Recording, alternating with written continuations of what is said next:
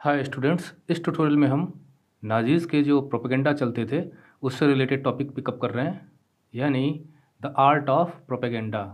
Propaganda का मतलब होता है कि जब आप किसी बात को लोगों के बीच में फैलाना चाहते हो तो प्रचार करते हो, उस प्रचार में काफ़ी कुछ आप ऐसा करते हो, जिसमें दिखावा काफ़ी शामिल होता है लाइक कि पोस्टर्स बैनर्स स्लोगन्स और मीडिया का यूज़ आप इसे इस तरह समझ सकते हो, जैसे हमारे इलेक्शंस के समय पे जो कंपेन्स होते हैं, जो चुनाव प्रचार होते हैं उनमें भी प्रोपेगेंडा चलता है। और प्रोपेगेंडा अक्सर बहुत ही पॉजिटिव और प्रोपेगेंडा अनरियल भी हो सकता है, किसी के खिलाफ भी हो सकता है और झूठ आधारित भी हो सकता है। और यहाँ जो प्रोपेगेंडा है, वो नाजी आइडियोलॉजी को प्रमोट करने से रिलेटेड है। क्योंकि जो नाजी आइडियोलॉजी थी, वो मीडिया का भी अच्छा खासा यूज़ करती थी, जैसे कि आज यूज़ होता है, जो पॉलिटिकल पार्टीज़ करती हैं तरह तरह के एडवर्टीज़मेंट्स होते हैं, इतना बढ़ा चढ़ा कर बताते हैं, जबकि उतना रियल नहीं होता। और हम ये भी पढ़ेंगे किस प्रकार से वो जो प्रोग्राम्स चलाते थे अनडिजायरेबल्स के लिए उनको ख़त्म करने का तो उनको डिफरेंट नेम से वो प्रोग्राम्स को चलाते थे। वहाँ कहीं पे भी किलिंग या मर्डर सब का यूज़ नहीं होता था।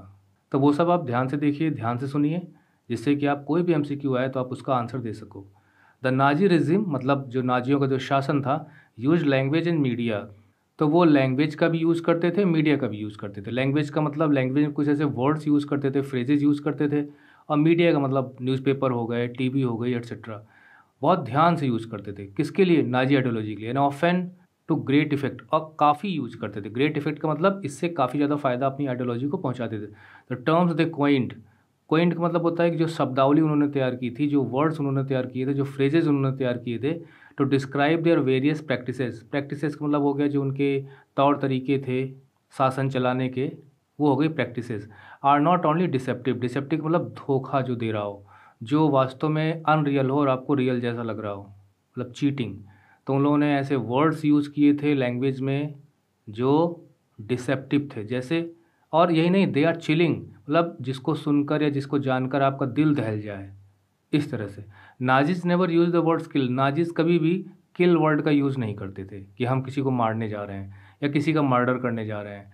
वो अब जो ऑफिशियल कम्युनिकेशंस मतलब जो डॉक्यूमेंटेशंस उनके होते थे, किताबों में जो लिखा जाता मतलब जो उनके डॉक्यूमेंट्स या कागजात तैयार होते थे पेपर वर्क उसमें इन सब का वर्ड का यूज़ नहीं होता था। अब ध्यान से देखिए आप mass killings were termed as special treatment final solution मतलब जब आप बहुत बड़े पैमाने पर और लार्ज स्केल कई लोगों को एक साथ मारते हैं तो उसके लिए जो वर्ड यूज़ किया जाता था, वो था स्पेशल ट्रीटमेंट फाइनल सोल्यूशन मतलब खास प्रकार का ट्रीटमेंट हो रहा। फाइनल सोल्यूशन का मतलब यहाँ ये यह हो गया कि अब मुक्ति मिल जाएगी इनसे। अब वो प्रॉब्लम दोबारा नहीं आएगी। और ऐसा वो ज्यूज़ के लिए करते थे। For Jews for the Jews euthanasia मतलब जिसमें आपको इंजेक्शन दे के या कोई बेहोशी की दवा दे के और आपको मार दिया जाए, जिससे आपको दर्द ना हो, ये डिसेबल्ड के लिए होता था। किसके लिए होता था? डिसेबल्ड सेलेक्शन एंड डिसइंफेक्शन देखिए, कीटाणु वायरस इन सबको दूर करने के लिए आप स्प्रे करते हो ना, दवाइयाँ छिड़कते हो उनसे मुक्ति पाने के लिए। तो वो अनडिजायरेबल्स को एक प्रकार से इन्फेक्शन ही मानता था। किसके लिए इन्फेक्शन मानता था? Biological purity of the Aryans तो सिलेक्शन यानी चुनना, और उसके बाद उनका डिस इन्फेक्शन कर देना स्प्रे करके ख़त्म कर डालो। इस तरह के वर्ड्स का यूज़ होता था। इवेक्वेशन इवेक्वेशन का मतलब होता है वैसे खाली कराना मतलब जैसे कमरे में तो खाली करा देना, जगह है तो खाली करा देना। गाँव इवेक्यूएट कर दिए जाते थे, जब बाढ़ वगैरह आती है। तो इवेक्वेशन से क्या मतलब होता था? मेंट reporting people to gas chambers evacuation का मतलब होता था कि लोगों को आप गैस चैम्बर तक पहुंचाओ। मतलब डिपोर्टिंग का मतलब होता है कि आप वहाँ ले जाके गैस चैम्बर पहुँचा दीजिए। गैस चैम्बर मतलब death factory do you know what the gas chambers were called अच्छा गैस चैम्बर्स को भी क्या कहा जाता था? उनको कहा जाता था डिस इन्फेक्शन एरियाज़ मतलब यहाँ आप आओगे तो एकदम कीटाणु वायरस मुक्त हो जाओगे। यानी यहाँ कीटाणु वायरस खत्म हो जाएँगे। और कौन से कीटाणु वायरसों की बात हो रही है यहाँ पे? कौन से बैक्टीरिया की बात हो रही है? यहाँ पर जो जर्म्स हैं वो हैं undesirable people specially Jews and look like bathrooms अच्छा जो डिसइंफेक्शन एरिया अब देखिए डॉक्यूमेंटेशन में वर्ड्स यूज़ होते थे. Special treatment final solution selection disinfection evacuation etcetera and look like bathrooms तो जो गैस चैम्बर्स होते थे, वो बाथरूम की तरह दिखते थे और उनमें शावर्स भी लगे हुए थे. मतलब शावर हेड्स भी लगे थे कि आप खोलोगे तो पानी की बौछार होगी. वास्तव में वो सब दिखावा था। ये सब प्रोपेगेंडा ही था उसका। हम फाइनल सोल्यूशन दे रहे हैं। Media was carefully use to win support for the regime अब देखिए मीडिया का कैसे यूज़ होता था। Was carefully use to win support for the regime तो देखिए भाई, हर जगह अगर कोई चीज़ पहुँच सकती है तो वो मीडिया है। तो अपने शासन के सपोर्ट में मीडिया का यूज़ होता था। और नाजी आइडियोलॉजी का जो वर्ल्ड व्यू जो हम ऑलरेडी पढ़ चुके हैं, उसे उसमें प्रचार किया जाता था। जैसे, वे लोग नाजी आइडियाज़ के लिए विजुअल इमेजेस का यूज़ करते थे। मतलब ग्राफिक्स का इमेजेस का, फिल्म्स का यूज़ करते थे, रेडियो में प्रोग्राम्स चलते थे, पोस्टर्स, कैची स्लोगन्स मतलब ऐसे स्लोगन्स की एक बार पढ़ लो तो दिमाग में चढ़ जाए। एंड लीफलेट्स, जो एक एक दो दो पन्ने की जो छोटे छोटे ना प्रचार सामग्री होती है। इन पोस्टर्स अच्छा पोस्टर्स में क्या होता था, groups identified as the enemies of Germans. Enemies of Germans, यानी जर्मनों के दुश्मन, जर्मन राष्ट्र के दुश्मन। Were stereotype stereotype का मतलब होता है कि उनके ऊपर एक, उनकी एक पहचान बना दी गई थी ठप्पा लगा दिया गया था। मतलब जब आप कोई चीज़ बार, किसी, मान लीजिए आप कोई भी चीज़ पढ़ते हो, किसी के बारे में सोचते हो तो आपके अंदर एक उसका एक इमेज बनती है। वो उसकी स्टीरियो इमेज होती है। या आप बॉलीवुड में फ़िल्मों में लागू कर सकते हो कि जैसे ही आपने उस एक्टर एक्ट्रेस का नाम सुना, तुरंत आपके दिमाग में आ गया, ये तो विलेन है, ये तो हीरो है। तो किसी की छवि टाइप्ड हो जाए एक प्रकार से, वही है स्टेरोटाइप रटी रटाई बातें ही स्टेरोटाइप हो जाती हैं। तो जर्मन्स को स्टीरियोटाइप किया गया लोगों के बीच में कि ये तो ऐसे ही हैं मतलब स्टीरियोटाइप्ड ऐसे ही हैं। मॉक्ड उनका मज़ाक उड़ाया जाता था अब्यूस्ड यहाँ तक कि उनको अपशब्द भी कहे जाते थे और उन्हें दुष्ट बताया जाता था। सोशलिस्ट एंड लिबरल्स देखिए सोशलिस्ट का भी विरोधी था हिटलर लिबरल्स का तो घूर विरोधी था, जो कि डेमोक्रेसी की मांग करते थे। उनको कमज़ोर और डी जनरेट कहा जाता था। डी जनरेट का मतलब जिसका जिसका करेक्टर ख़राब हो चुका हो, पतन हो चुका हो करप्ट लोग, नीच, गंदे किस्म के लोग।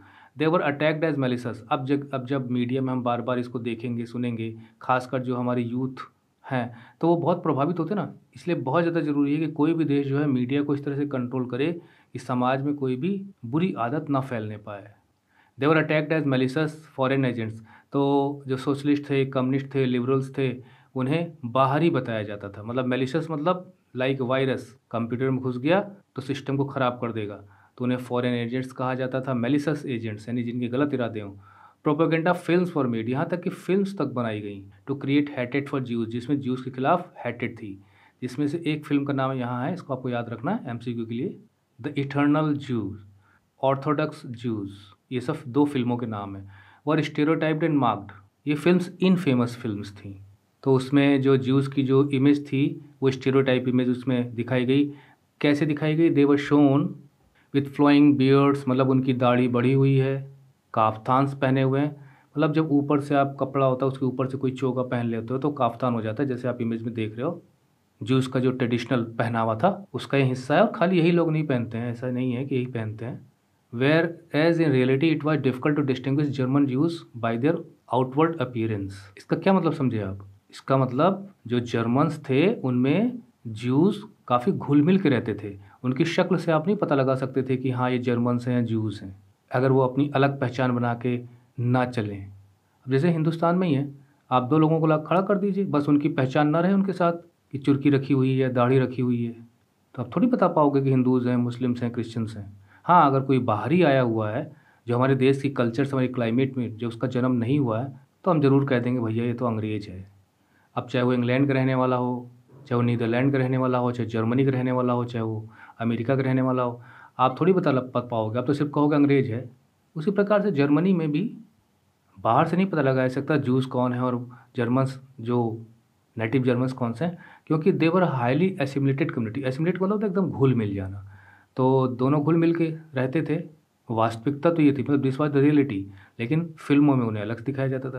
They were referred to as vermin ओ ओ कीड़े कहा जाता था। Rats pests their movement were compared to those of rodents चूहों की प्रजातियाँ हैं तो वो जो कुतरने वाले चूहे जब जैसे चलते हैं, उस तरह से उनकी चाल होती है। वो वो Nazism worked on the minds of the people media का इतना यूज़ किया गया कि नाजिज़म लोगों के दिमाग पे चढ़ कर बोलता था मतलब लोगों के दिमाग में शवार था।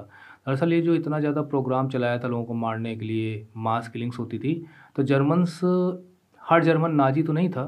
लेकिन चूँकि जर्मनी के लिए वो काफ़ी कुछ कर भी रहा था तो नेशनलिज्म के नाम पर लोग उतना ध्यान उस पर देते नहीं थे। वो बस इसी हिटलर के दीवाने थे कि Hitler is made for German, Germany को उसने कहाँ पहुँचा दिया? टैप देयर इमोशंस तो मुख्य चीज़ ये है कि जो लीडर्स होते हैं ना, वो इमोशंस के साथ खिलवाड़ करते हैं। अगर वो गलत कर ले गए तो आपको गलत का साथ देना होता है। तो लोगों के दिलो दिमाग में हिटलर छाया हुआ था, नाजी आइडियोलॉजी छाई हुई थी and turn their hated and anger at those marked as undesirable तो वो वास्तव में अनडिजरेबल से घृणा करने लगे थे। टैप का मतलब यहाँ पर यूज़ मतलब खुल कर यूज़ करिए, जितना यूज़ कर सकते हैं।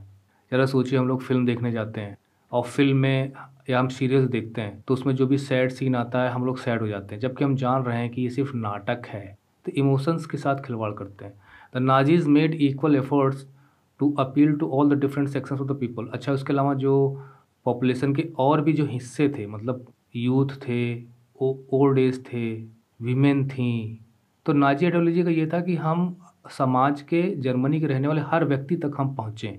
They sought to win their support by suggesting that Nazis alone could solve all their problems तो sought to win their support का मतलब उनका सपोर्ट मांगते थे, इस नाम पे मांगते थे कि सिर्फ़ नाजीज ही हैं जो समस्याओं को सुलझा सकते हैं। Nazis alone could solve all problems तो हमको सपोर्ट करो। अब देखिए यहाँ पे दिखाया गया एक पोस्टर है है ना? इसमें देखिए ये पूरे पूरी जो है पैसे की गठरी है और उसके ऊपर ये बैठा हुआ है जू। यानी ये पैसे के लालची होते हैं। इसमें लिखा भी गया है कि नाजी पोस्टर टेकिंग जू।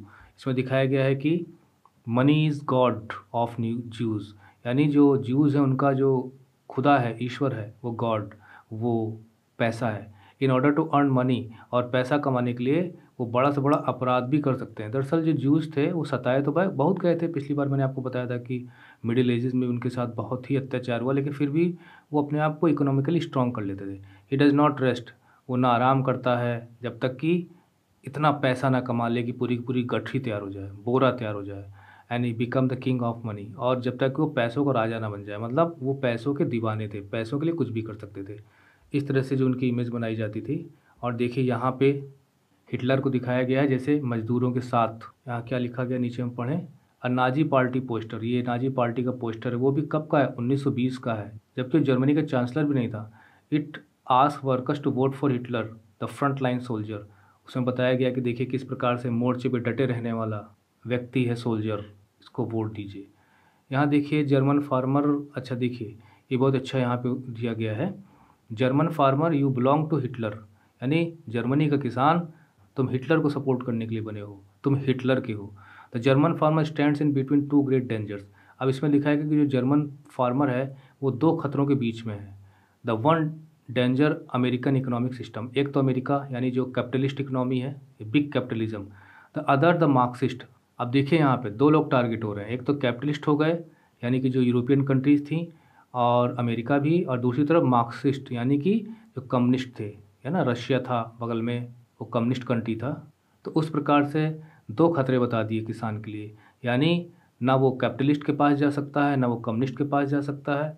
और बॉल्सविज़म जिसे हम ऑलरेडी पढ़ चुके हैं ना, बिग कैपिटलिज्म एंड बॉल्सविज़म दो खतरे हैं, कैपिटलिज्म एंड बॉल्सविज़म वही जो communist.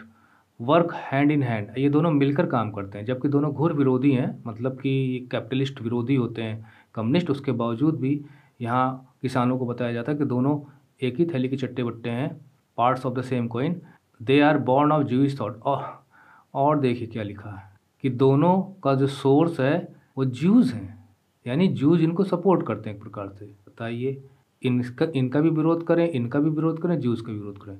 And serve the master plan of world Jewry और ये कैपिटलिज्म और ये वेल्सिविज्म ये सब मिलकर जो ज्यूरी मतलब जो ज्यूस का जो मास्टर प्लान है दुनिया भर में छाने का, उसको ये लोग प्रमोट कर रहे हैं। यानी इनका विरोध करो। We alone can rescue the farmer from these dangers सिर्फ़ हम ही किसानों को मतलब रेस्क्यू किसानों को रेस्क्यू द फार्मर्स इन खतरों से बचा सकते हैं।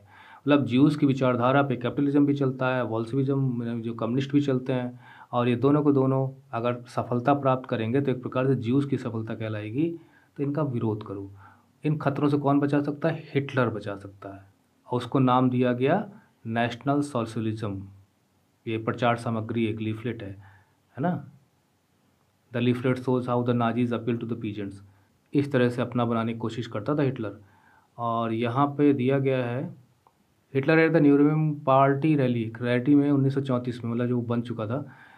The women is most stable element stable element का मतलब होता है कि जो बराबर बना रहे। In the preservation of a folk folk मतलब जनता पीपल प्रिजर्वेशन मतलब उनका रख रखाव उनका संरक्षण। तो महिलाएँ ही जिम्मेदार हैं लोगों के रख रखाव के लिए। वो बराबर लोगों की सेवा में लगी रहती हैं। She is the most unerring unerring मतलब होता है विच डज नॉट फेल मतलब अटूट, न टूटने वाला। सेंस का मतलब समझ, विश्वास। तो औरतें एक प्रकार से उस अटूट विश्वास, उस अटूट समझ मतलब उनके अंदर एक ऐसी ज़बरदस्त समझ है कि लोगों की मतलब द पीपल जनसंख्या जिसे हम कह सकते हैं, उनके रख रखाव के लिए उनकी कितनी ज़रूरत है। Of everything that is important to not let a race disappear कि हमारी नस्ल ख़त्म ना होने पाए। अब समझिए यहाँ पे जो जर्मन औरतें हैं तो वो किस तरह से प्रभावित होंगी इसको सुनकर कि हमें जर्मनी में जर्मन पॉपुलेशन को बढ़ाना है और अपनी रेस को बनाए रखना है। वैसे मैं यहाँ पर किसी रिलीजन को टारगेट तो नहीं करूँगा but this thinking is present almost in all religions कि हमारी संख्या सबसे ज़्यादा हो, हमारी संख्या सबसे ज़्यादा हो। और कैसे हो सकता है? महिलाओं से। बिकॉज़ महिलाएँ ही बच्चों को जन्म देती हैं। Because it is her children क्योंकि वो उसी के बच्चे हैं who would be affected by all this suffering in the first place क्योंकि अगर कोई मुश्किल का समय आता है, कोई सफरिंग टाइम आता है तो उसी के बच्चे सफ़र करेंगे। क्योंकि उन बच्चों को जन्म किसी माँ ने दिया होगा। That is why we have integrated the women in the struggle of the racial community इसलिए हमने महिलाओं को इंटीग्रेट किया है मतलब शामिल किया है अपनी उस रेशियल कम्युनिटी में। यानी जो रेशियल आइडियोलॉजी है कि वो अपनी रेस को बनाए रखने के लिए जो कुछ हो सकता है वो करें। और उनको उसकी समझ भी है, वो करती हैं। Just as nature and providence nature का मतलब होता है प्रकृति। वही महिला हैं, पुरुष हैं, सबकी प्रकृति होती है। एंड प्रोविडेंस का मतलब होता है नियति, किस्मत, जो होना है, जो हो के रहेगा, वही प्रोविडेंस है। तो जिस प्रकार से नेचर और नियति ने तय कर रखा है महिलाओं के लिए कि वो अपनी रेश को बनाए रखें, अपनी नस्ल को बनाए रखें। और यहाँ क्या है? In an address to women at the Nuremberg party ये उन्नीस सौ चौंतीस का ही है। We do not consider it correct for the women to interfere in the world of the man देखिए, यहाँ साफ़ साफ़ कह रहा है कि महिलाओं को जो पुरुषों का संसार है, उसमें इंटरफेयर नहीं करना चाहिए। Do not consider interference in his main sphere पुरुष का अपना एक, पुरुष की अपनी दुनिया है, उसमें औरतों कदम नहीं रखना चाहिए। We consider it natural that these two worlds remain distinct और हम ये मानते हैं कि ये बहुत प्राकृतिक है कि दोनों दुनिया अलग अलग रहे मतलब महिलाओं की, पुरुषों की। कहने का मतलब ये है कि दोनों के बीच में बराबरी नहीं हो सकती। What the man gives in courage on the battlefield आदमी क्या करता है कि लड़ाई के मैदान में क्या करता है वो? अपनी हिम्मत दिखाता है। The women gives in eternal sacrifice और महिला भी अपना सेल्फ सेक्रीफाइस देती है। इन इटर्नल पेन दर्द सहती है। इटर्नल मतलब जो बरबर बना रहे। हर औरत को सहना पड़ता है।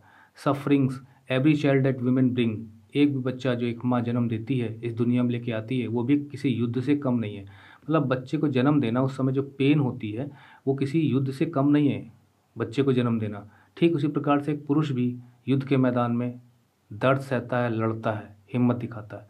A battle waged for the existence of a people लेकिन जो माँ सहती है, वो लोगों की जनसंख्या को और रेस को बनाए रखने के लिए for the existence of a people तो महिलाओं का काम अलग है, पुरुषों का काम अलग है। वो बाहर जाके दुनिया में बैटल फ़ील्ड में लड़ते हैं और महिलाएँ भी पेन सहती हैं टू मेंटेन देयर रेस इसके बाद तो कुछ भी नहीं है। तो ये तो ट्यूटोरियल यहीं ख़त्म होता है। Thanks for watching